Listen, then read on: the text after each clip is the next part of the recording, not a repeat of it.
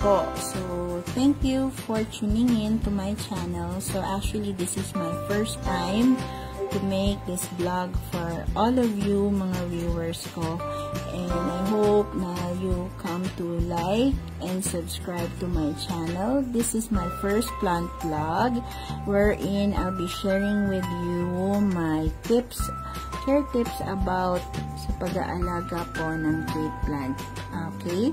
So, disclaimer lang po kasi uh, yung mga i-share ko lang. I'm not an expert, no? I'm not a botanical expert. I'm not a botanist, but uh, a plant hobbyist lang po. And lahat po ng mga mga tips na i-share ko sa inyo regarding po dito sa pag-aalaga ng aking mga jade plants is only based po sa sarili ko pong experience on how I took care of my plants. So, as you can see, this is, I have here two mother plants po ng aking mga jade plants. I can say na sa tinagal-tagal ko na po na magpagiging plant hobbies, actually, I started last year lang po, last June of 2020. Uh, that was when na-start po nung uh, ongoing po yung COVID, no, yung pandemic. So, because of that, because of this, uh, pandemic, nagkaroon po ako ng interest sa pag-aalaga po ng mga halaman. And isa po itong jade plant sa masasabi ko na ideal na plant para po sa akin ha, na alagaan. Actually, ito pong mga jade plants na, natin ito na variety na to usually uh, are derived from Benguet. No? Galing po siya sa Benguet. And sabi po nila, according sa mga feng shui experts, sinasabi nila na ito daw po mga kinds ng mga plants na to can attract wealth and luck. So, para po dun sa mga talagang mahihilig sa mga, alam nyo dyan, pampaswerte dyan. So, I recommend na itong halaman na ito is the best plant for you to take care no, sa loob ng bahay.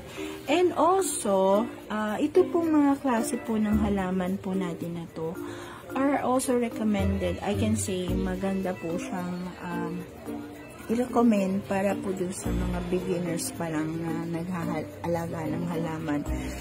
So, ano po ba yung mga sikreto natin na para po mapanatili nating healthy? Ayan, healthy at maganda ang ating mga jade plants. So, unang-una, uh, we highly recommend po no, na iwasan po natin sa ating mga jade plants yung sobra pong pagdidilig. Okay? Uh, yung pong mga jade plants kasi, gustong-gusto nila yung moist na mga soil na po. Pero, it doesn't need to be hindi po natin siya kailangan na i-overwater. So, ang, ang gusto lang po na talaga is ganyan. Ganyan lang.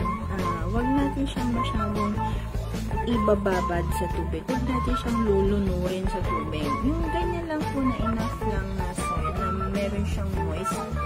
Yan po, enough na po yan. And malalaman niyo po naman kasi kung overwatered yung jade plant. To say, makikita mo talaga na parang nagiging muddy. No? Parang putik na yung inyong soil mixture. Ayan. So, gusto lang po nila. Saka yung soil nila is loose no? Hindi siya compacted. Para po, mas nakakahinga yung kanyang roots sa ilalim. And then, ano po ba, ano pa po ba yung iba sa mga secret ng mga taghaalaga po ng jade plants? Bakit po napapanagin yung healthy yung kanilang jade plant? First, kung ito po ay galing pa lang sa nursery, no? meaning sa kabibili niyo pa lang uh, sa mga nagbibenta po ng halaman.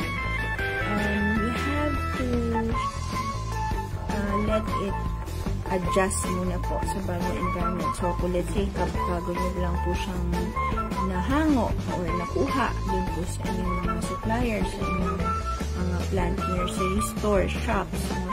Pagdating po sa bahay, huwag niyo po siyang agad-agad ibibilad sa araw. huwag niyo siyang agad-agad ilalagay sa mga places na direct nasisinaga ng araw. So, gusto po nila na nasa isa lang silang shaded area.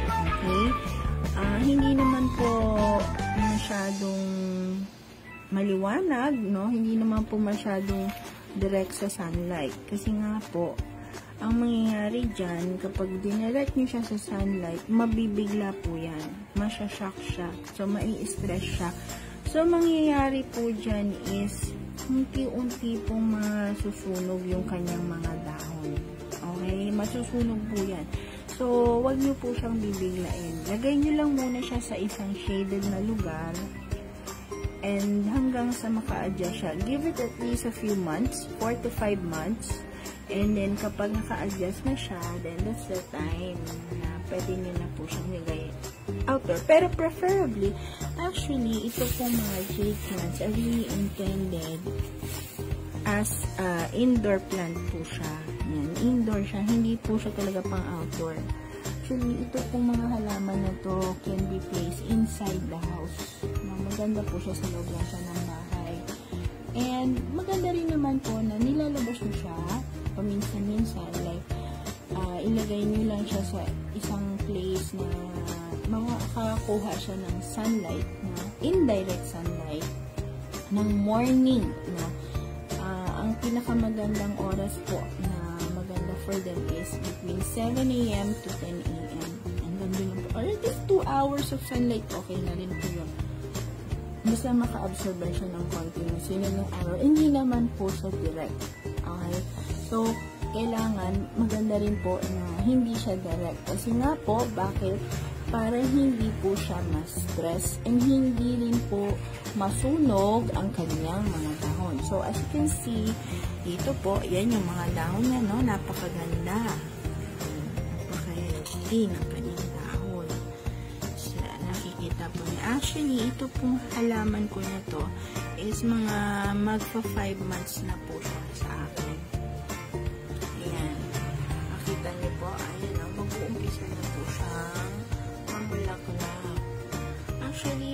maturity po ng jade plant, tumatagal naman po siya.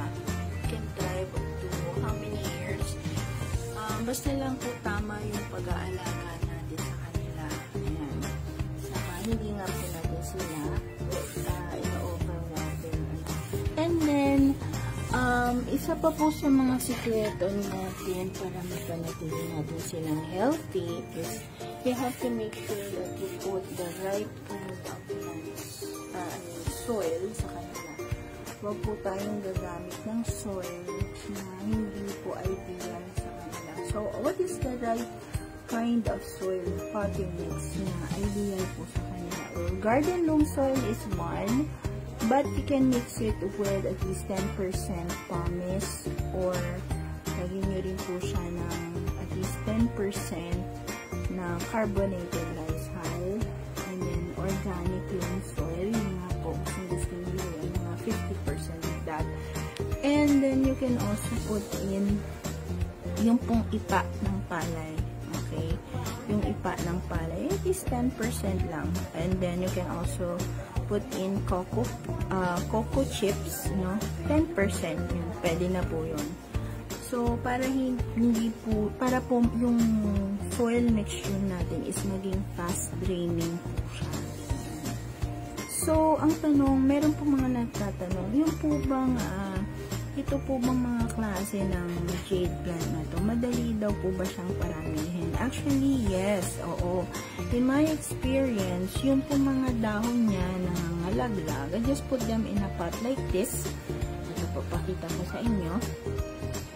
Ayan, ah, naglagay po ako ng mga pots na kagaya po nito. Ayan, na meron po siyang uh, nilagay ko yung mga leaves na yan. And then, ito po, ayan, yan sila.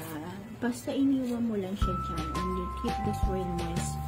No? Yung tama lang, uh, sure po yan na magkakaugat yan. And once na nagkaugat yan, that means to say, successful po yung inyong ginawang propagation. So, that plant na nag, yung bago pong leaves na nagka-roots, will turn into another jade plant. So, again, um, yeah, marami pong uh, instances ako na nakapag-propagate na po, na naparami ko na po sila. So, ito pong mother plant na ito na nakikita nyo ngayon, yan, yan, dalawang yan, uh, napaparami ko na po siya.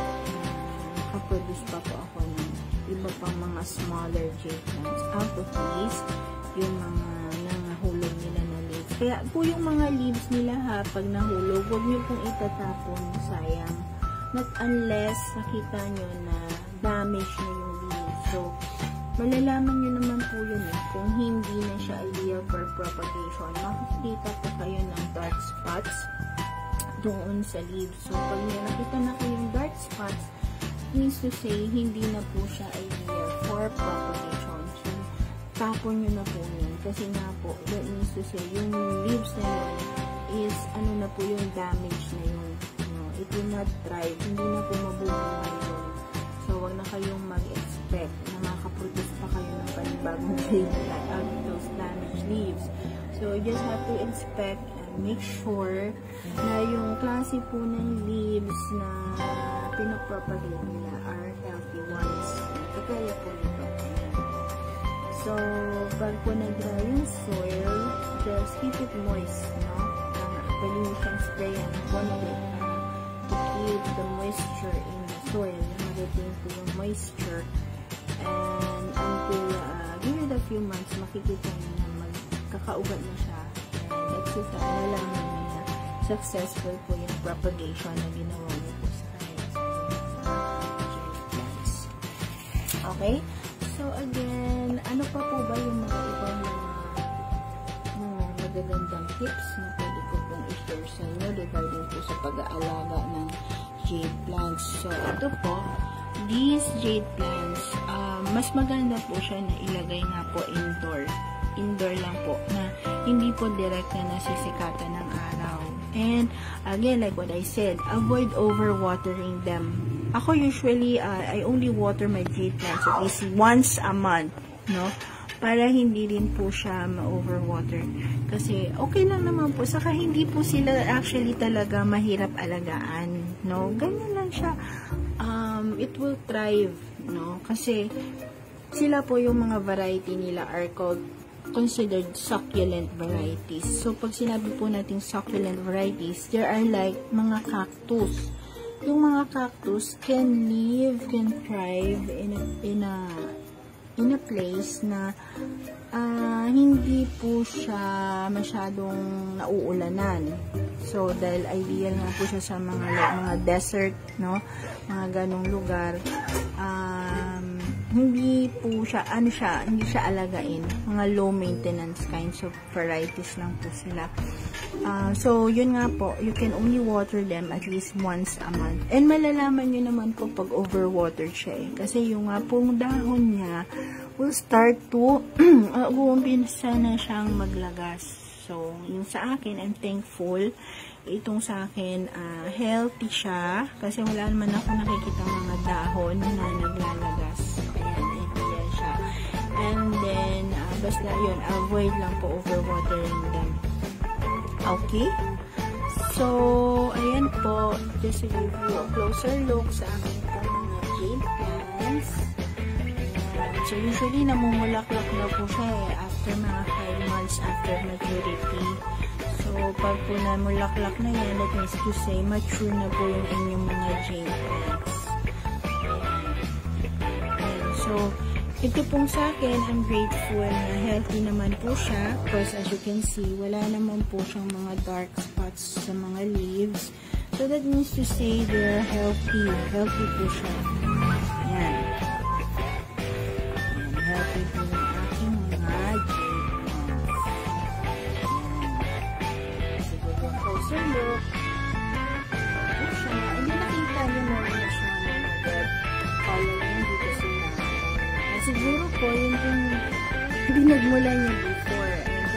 Minsan napapaalaan ko nila. So, pag kasi po na ano siya sa araw, nakaka-absorb siya ng sunlight, so, nagkakaroon po ng color yung kanyang mga leaf, which maganda naman po, di ba? Maganda. Huwag lang pong sobra. Kasi pangit yung pag over masyado ng red na red. Ang maging looks parang sunog. No? So, sa akin yung tama. Then, malalaman niyo rin po pag overwatered siya. Pag yung mga leaves niya, ayan, parang nagsa-flap, medyo bumabagsak siya, nagka-crack. So, that necessary. Hindi na niya kaya kasi nalunod na yung inyong mga tree plants. So, disclaimer lang po, no, itong mga senior ko po sa inyong tips are based on my own personal experience. So, I'm not an expert. I'm not a plant botanist expert. Pero, ito pong mga sinishare ko sa inyo are the ones that work for me. So, Gaya nga po ng sa ibang mga nag-aalaga po ng halaman, if you're going to ask them, iba-iba naman po kasi eh, yung pin, mga experiences po natin. So, yun lang po, yung sa akin lang po, yung mga sinishare ko po dito sa aking video are the ones that work for me. So, masasabi ko na successful po yung aking pag-aalaga kasi nga po nakikita ko na healthy yung aking mga jade plants. Okay? So, for all, for now, mga viewers, mga kaplantitos, mga plantitas, those are the, just some of the tips na ma-share ko po sa inyo. And I hope that you came to like my video, nagustuhan po ninyo ang aking video. And again, uh, watch out for my other plant vlogs. Uh, I'll still be making a few more videos para po sa inyo. And hope that you also comment dito po sa aking uh, channel.